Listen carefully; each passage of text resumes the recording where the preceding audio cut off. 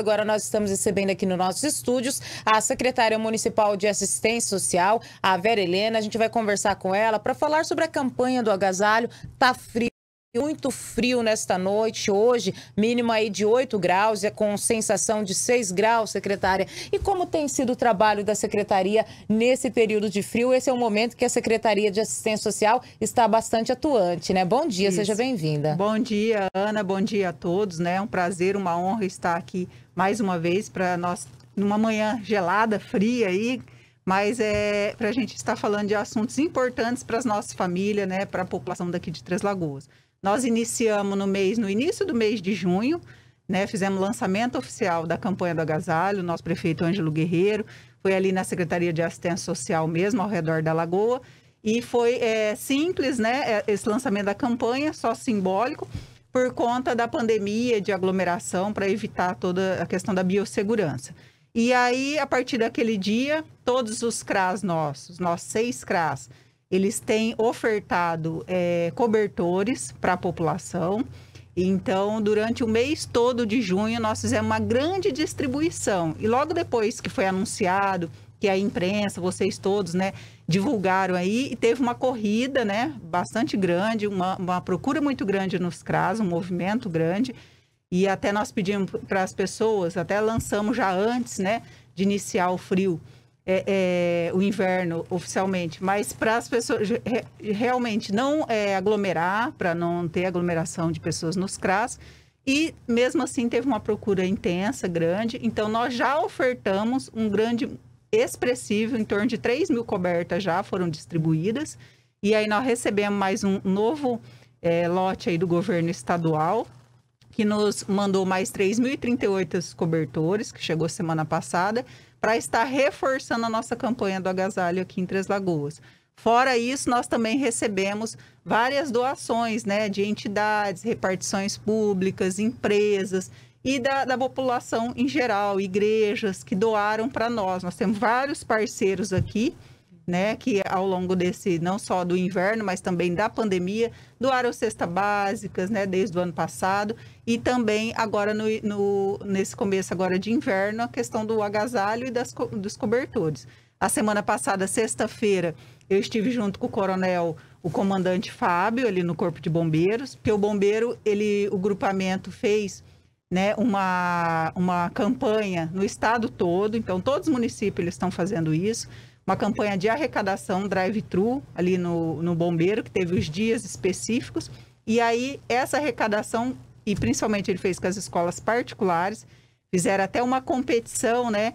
Que a escola que arrecadasse mais, a sala de aula que arrecadasse mais agasalhos e cobertores, ela vai, as crianças daquela sala de aula com maior número de, de arrecadação, vai estar visitando o corpo de bombeiro e conhecendo os carros, veículos, né? E todo ali. Então, lógico, daqui uns dias depois que diminuir essa questão da pandemia. Secretaria, agora como que faz? Com toda essa arrecadação que vocês tiveram, as pessoas ainda que estiverem precisando de ajuda, elas podem procurar o CRAS? Podem. Em todos os CRAS nossos, isso durante o ano inteiro, não só agora, agora mais intensificado, mas durante o ano inteiro nós temos nos CRAS, já é de rotina de costume. Lá em cada CRAS, nos seis CRAS, tem caixas, né? Tem uma caixa grande lá de papelão, que aí a gente já deixa ali roupas, agasalho, na época do frio agasalho, e durante o ano roupas. Então, qualquer pessoa que quiser, né, da sociedade, vocês, que, que quando tiver oportunidade, tiver alguma roupa, é, tudo, de criança, adulto, né, masculino e feminino, nós separamos essas roupas e aí a população, elas mesmas já sabem e vão no CRAS e ali procura o que, que serve, o que, que fica melhor.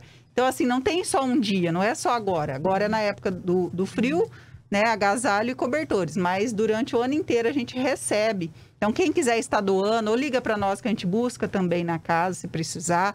E também pode estar levando, só chegar lá e deixar no CRAS ou na Secretaria de Assistência Social, que nós fazemos isso o tempo todo.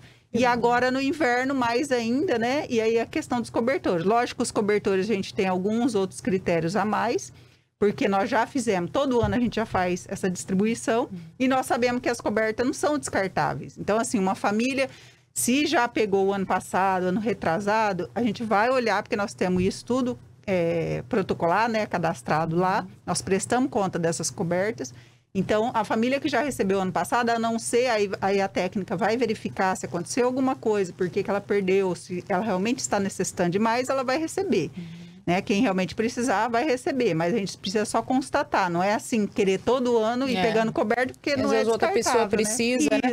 E essas famílias têm que ser cadastradas no CRAS? Quem precisa de uma coberta ou de qualquer agasalho, ela precisa ter um cadastro ou não? Não, não precisa. Se for cadastrado, melhor, mais fácil, porque aí a gente já tem o cadastro dela, já sabe se ela buscou ou não. Se ela não tiver, nunca precisou, nunca necessitou, agora que está precisando, é tranquilo de qualquer maneira. Tendo ou não tendo, ela é só ir num CRAS, que o CRAS, se não tiver o cadastro, vai fazer na hora. E só essa questão que eu falei, só vai verificar se ela realmente precisa, né, é, precisa mesmo ou não. E fazer essa triagem simples, rápido, né? Uhum. Tranquilo. E aí vai estar ofertando, sim, o que ela necessitar. Também eu quero aproveitar e estar falando, por conta agora da semana, que até promete que amanhã e depois deve estar mais frio uhum. ainda, né? E aí, acho que de tanto falar, a gente fica com mais frio, né? É. A sensação é pior. E aí nós também, nosso prefeito, o, o, prefeito Anjo Guerreiro, ele fica muito preocupado, o tempo todo ele fica falando das pessoas em situação de rua, né? E muitas pessoas, às vezes, você vai passar na rua, numa praça e vê algum, alguém deitado, né? Então nós temos também o Centro Pop, tá aqui o telefone, né, para ligar para o nosso plantão, qualquer hora do dia, da noite, nós vamos estar buscando, tem uma equipe para isso. Alguns, a maioria, não aceitam, não querem ir. Então, a gente, pelo menos, a nossa equipe fica. Tem uma equipe volante que fica passando e dando também essas cobertas para essas pessoas que não querem ir para o nosso acolhimento. Mas o ideal, um, a gente tenta é levar eles para o nosso acolhimento, pelo menos, ainda mais nesses dias de mais frio, né? para eles não passarem questão de saúde e de segurança então, também. tem todo um trabalho com esses moradores em situação de rua. Eles já tem... foram vacinados, tá? Junto com a Secretaria de Saúde já houve esse trabalho, então todos já foram vacinados.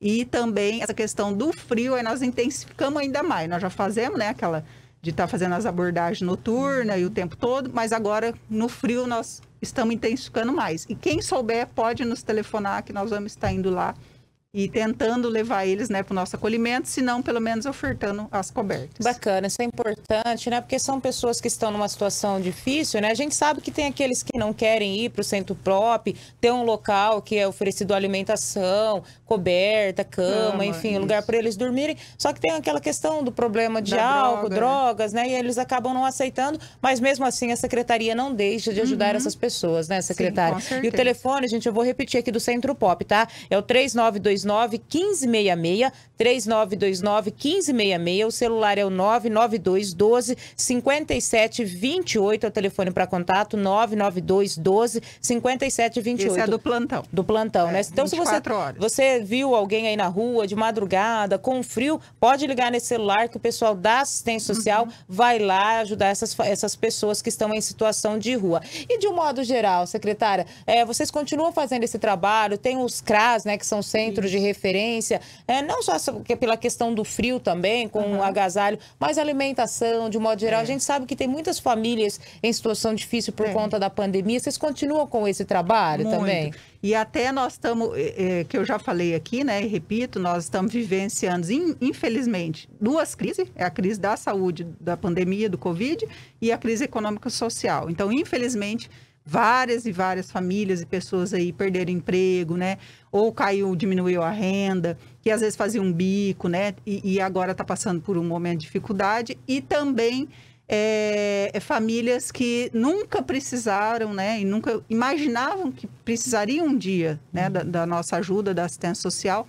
Nós estamos trabalhando mais ainda intensamente. Estamos trabalhando também então, essa questão, principalmente da cesta básica, né, dessa questão do auxílio é, emergencial, do, do alimento, nós intensificamos e está cada vez maior a procura, infelizmente. Mas nós estamos aqui à disposição. Não precisa, é a mesma coisa da coberta, não precisa a pessoa ser cadastrada.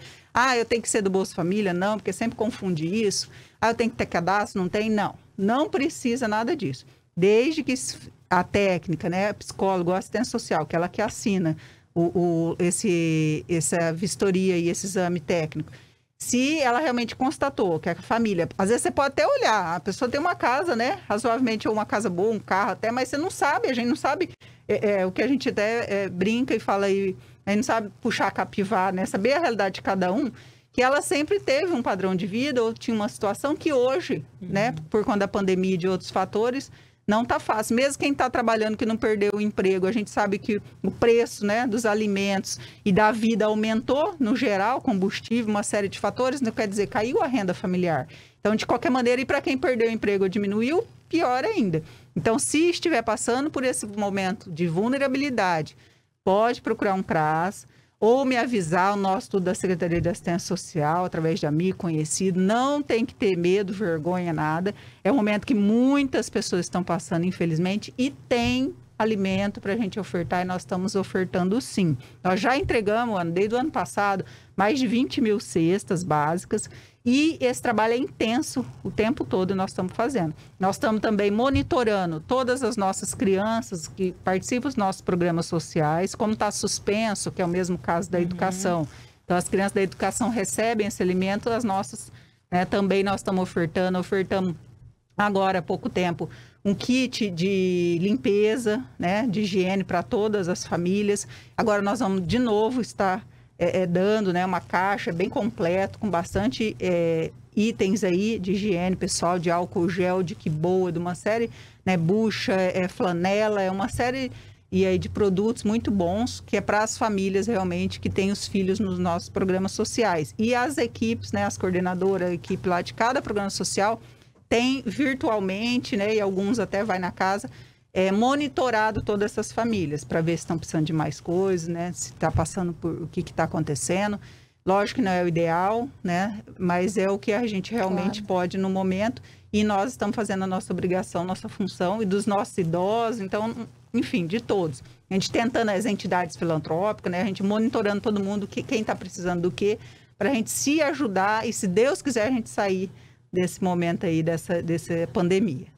Que bom, secretária, isso é muito bom saber que né, a secretaria está aí fazendo o seu papel, ajudando aquelas pessoas que mais precisam. Então, se você precisa, é só entrar em contato com um dos CRAS ou com a própria Secretaria uhum. de Assistência Social. Obrigada, Vera, pela sua Eu participação. Eu que agradeço mais uma vez, que Deus nos abençoe e quem souber, reforço, quem souber de qualquer pessoa que estiver passando necessidade, é de frio, de alimento, de qualquer outra coisa, pode me falar, pode nos procurar, que eu, te, eu peço é que me falem mesmo, né? Que fale para nós, para a gente realmente estar indo aí e, e tentar ajudar da melhor maneira possível.